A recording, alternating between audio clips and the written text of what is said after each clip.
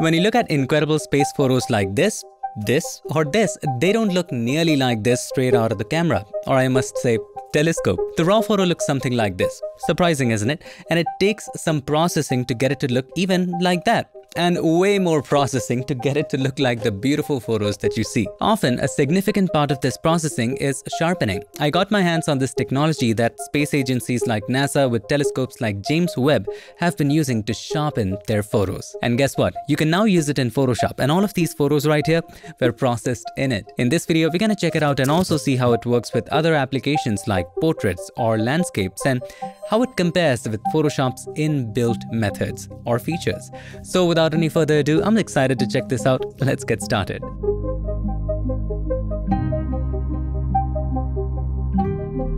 Back in the magical world of Photoshop and the name of the plugin is APFR by Christoph. By the way, Christoph is an award-winning astrophotographer. And if you want to do the exact thing the plugin does without using the plugin, and if you don't want to use the plugin, I'm also going to share with you a resource on how to do the exact thing absolutely manually in Photoshop later in the video. Once you've installed the plugin, of course, you'll find it inside of the plugins menu, APFR, and there it is. Absolute point of focus. That's what it means. The way it works is pretty simple.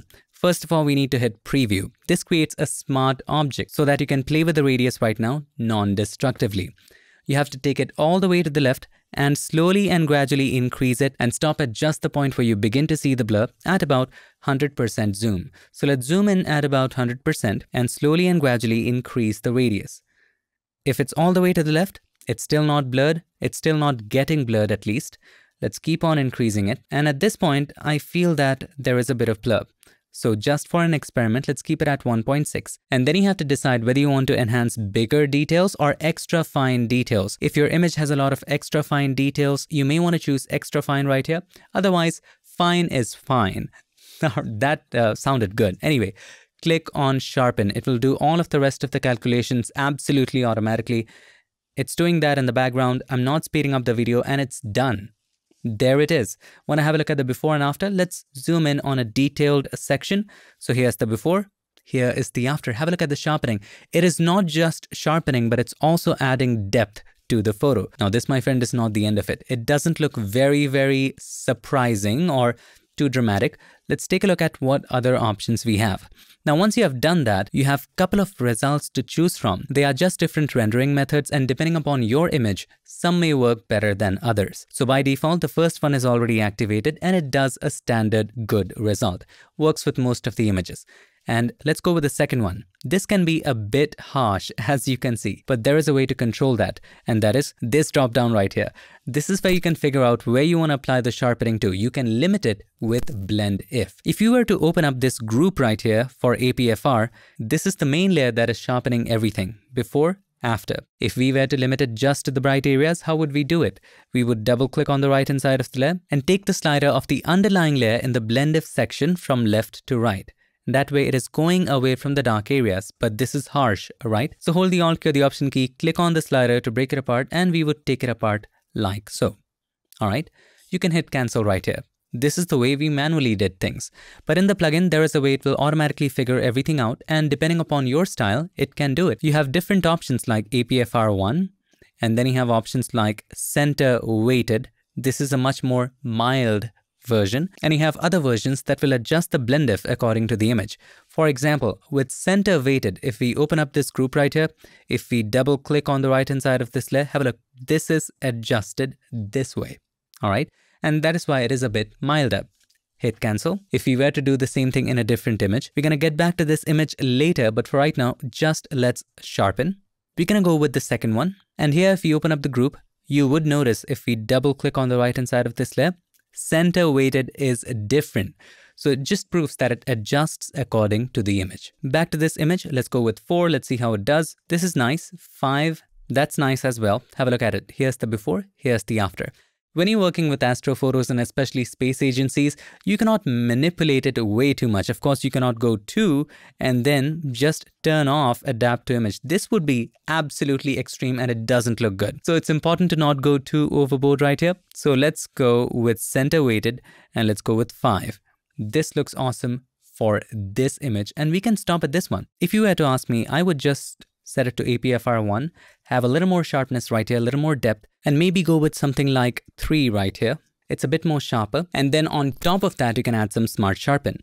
Now let's scroll down. There are some other options right here as well. Of course, you can compare the before and after by clicking here, before, after. It simply turns the layer off and on. And then you can click on info to see which settings you have applied. And then you can even delete the layer if you wish to. Now, after doing all of this, you have the finalize section where you can just reduce it to one layer, click on it. Now this looks destructive, but if you have a look at the name of the layer, it has all the settings that you applied, making it easy for you if you wanted to apply it again. But either way, I don't recommend it. For me, it's some kind of non-destructive still. What I recommend is converting all of this into a smart object. So let's click on this button. So instead of a raster layer, it is now a smart object. And on top of this directly, you can apply Smart Sharpen because this is already a smart object. Let's go to Filter, Sharpen, and then Smart Sharpen. What I really like to do is increase the amount all the way to the right hand side and then slowly and gradually increase the radius. Let's keep on increasing it and stop at just the point where you begin to see the halos. At about this point, we begin to see the halos right here, as you can see. Maybe let's go with 3.6 or maybe 3.8. Let's go a bit higher and then you can also reduce the noise if you wish to. Let's keep it at 10 and also the amount is of course all the way to the right hand side so let's go ahead and decrease it. Let's zoom out, see what works good for us. Maybe we're gonna go with something like 160. Hit OK.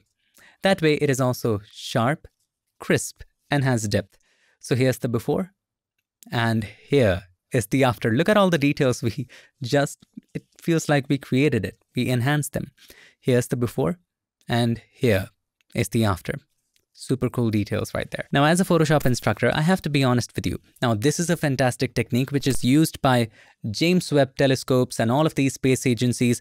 They want accuracy. And if you want to learn more about this method, we're going to cover that later. But if you want to just come close without this much accuracy and this much nuances, you can also try some inbuilt features inside of Photoshop. I'm not talking about just sharpening. Let us do it. Let's make a copy of the background layer by selecting it and pressing Ctrl or Command J. Now this is a quick and dirty method. Let's go to Filter, Convert for Smart Filters. And then let's go to Filter, Camera Raw Filter. If you want some details, let's zoom into this area first. Why not just add some texture? Let's go to the Effects section and let's increase texture. There you go. That way also you can come up with some details. Of course, you may not have that control of the radius, you may not have that control of different rendering styles which are used by professionals, but still just creates a lot of details. You can also increase some clarity for more details and maybe some dehaze as well. There you go. And if you want some more sharpening and crispiness, you can go to the detail section and inside of that, just increase the sharpening. You can play with the radius. And by the way, you can hold the Alt key or the Option key to look at it real time. This is where most of it is enhanced. So I'm going to stop at about 1.6 and then you can control the detail amount. You can keep holding the Alt key or the Option key to see what it's doing. Maybe increase the radius, maybe increase the sharpening, and then you can control the masking, but I'm not going to do that. Hit OK. And that was just with Camera Raw. And this is with APFR. Of course, APFR is more accurate and it just looks good but the camera is not bad. So you can come close with a simple camera raw. Now, if you want to learn how this APFR method works and if you want to learn how to do this manually, Christoph has created a set of videos. There are lots of videos that you can use to do exact that method which professionals use, as you can see right here. I'm going to leave a link to all of this in the description. Grab some popcorn, take the time to watch it. This is what the true professionals do. It's worth it. It is a way more advanced version of the high pass method that we covered several years ago in videos like this. And you can see that if you open up this smart object by double clicking on the thumbnail, here we have the APFR group. Let's open up any one of these by double clicking on it. You see, all of these renderings, all of them are stacked and applied together just to add all of those depths and details. Now let's see how it works with portraits like this. So in this case, we have first done the blemish removal and then dodging and burning. Now before applying APFR, let us create a stamp visible layer by pressing Ctrl, Alt, Shift and E. This creates a merged layer of everything you see on the canvas at the top. And then let's click on APFR layer and hit preview. Slowly and gradually increase the radius and stop at the point where you just begin to see it blurring. Let's zoom in at about 100% and I'm gonna go a bit higher on this one. probably let's go for 1.6. And then fine is fine and hit sharpen right here. Just have a look at the depth it adds. So here's the before, here is the after. And again, I'm going to zoom in right here, too much. And you can also compare from right here. Here's the before and here is the after. And of course, you can try different rendering methods. Let's go with the second one, more details. Now, of course, you have different blend if modes. So I'm to turn it off for the moment. Let's go through different results right here. 2 is way too sharp. Definitely not something we can apply. Let's go with 3. 3 is fine. 4 is good too. Let's see 5. I think 5 is a middle ground and we can go with that. And along with 5, the dark areas are way too dark. So maybe we're to go with APFR model 1. This is a good balance. So here's the before Here's the after. Look at the details. Look at the details in the skin texture. Look at the details in the eyes and the details on the lips. Before, after. It is not adding any halo and that is the greatest part. If you have a look at areas like this, edges like this, usually if you were to add a regular sharpening, it will add some halos. So let's turn this off and we're going to create a brand new layer at the top. Press Ctrl Alt Shift and E. And let's compare it with Smart Sharpen. Let's go to Filter, Sharpen, and then Smart Sharpen. And you would notice something right here. Let's take a look at this particular area. If we were to control the radius and the amount, you will see some halos at every point. Some level of halos no matter what you do. Have a look at this area right here. You see the halo? Let's zoom in. You see that disturbing contrast around the edge? Similarly right here as well. You see all of these lines? These are the artifacts and byproducts of sharpening like this. And of course, we have to be careful of the amount right here. Let's hit cancel and delete this layer. If you have a look at APFR, none of those are added, no matter how much APFR you do. So let's go with 2 right here. You will see no halos around the eyelashes right here. No halos around this area right here. It's just a different kind of sharpening. Here's the before, here's the after. Even if you turn it off, you this is extreme sharpening, but you don't see halos that much in that form. So let us go with the fifth one, of course. And then we're going to go with APFR1 to find a good balance. You can combine it, of course, with a little bit of Smart Sharpen. Before that, let us reduce everything to a smart object. We can go to Filter, Sharpen, Smart Sharpen. Increase the amount all the way to the right hand side and slowly and gradually increase the radius. And stop at the point where you begin to see the halos. So for me, I'm going to stop at about 3.6 slowly and gradually increase the amount to what we want. Let's go with 180 here and have a look at the sharpness. This is just amazing. So here's the before. This is way too soft. Have a look at the eye right here. And here's the after. Good balance, but I still think it's too sharp. And that is why we need to go back to Smart Sharpen and probably decrease the amount. Maybe 100% was good. Hit OK. There you go. That is nice. So here's the before. Overall soft. And here's the after. It's popping so nicely. Let's have a look at landscapes. This, my friend, is a pretty good photo, but it lacks all the details because this seems to be so far away. If only we could sharpen these areas and add some more grunge and depth. Let's open up APFR and similarly, click on preview. You want to make sure you're zoomed in at about 100% and slowly and gradually increase the radius and stop at just the point where you begin to notice the blur.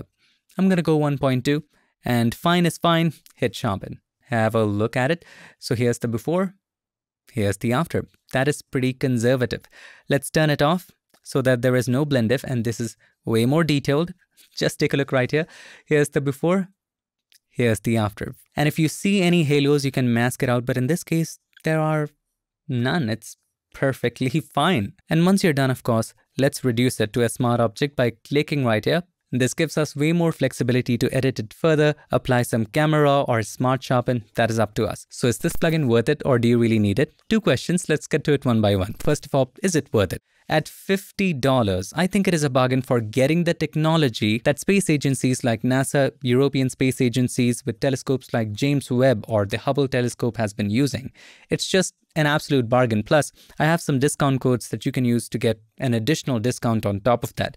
To know how much and additional details, I'll link them all up in the description. And it does one of the most accurate sharpening with no halos, bunch of detail, and a lot of depth. Now, everything that the plugin does can be done manually. And if you want to learn how to do that, I'll leave a link in the description as well, and it is right here as well. Now, do you really need it? If you're an astrophotographer, this is worth a try. Otherwise, if you just simply want to add some texture, some details, you can just increase the texture inside of Camera and it does a pretty good job. You might not have that many controls, that many rendering options, but this just is a quick and dirty way to kind of get around it.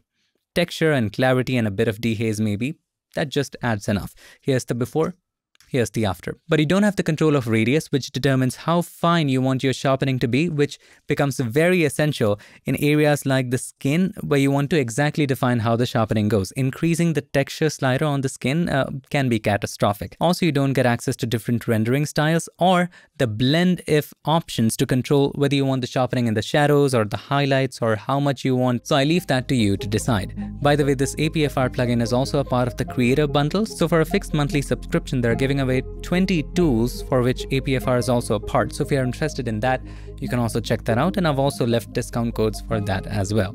Or you can outright buy it. That is up to you. I hope you enjoyed this video. I hope I could share with you something new. Thank you so much for watching. I'll see you in my next one. Till then, stay tuned and make sure that you keep creating.